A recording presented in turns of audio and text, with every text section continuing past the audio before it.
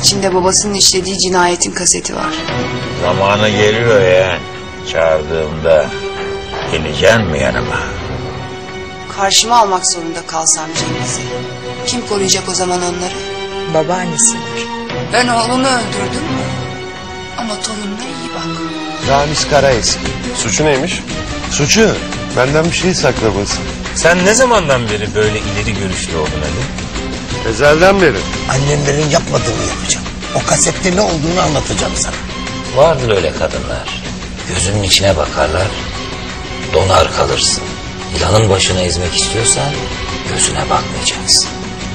Yoksa zehirlersin. Şimdi Ömer burada olsa, seni bir daha istese, ne dersin? İster misin bu yuvaya dönmeyi? Bitir iş, çek dedi. Emri verdin mi? İşte ancak o zaman anlarsın. Emri ver. Ezel yeni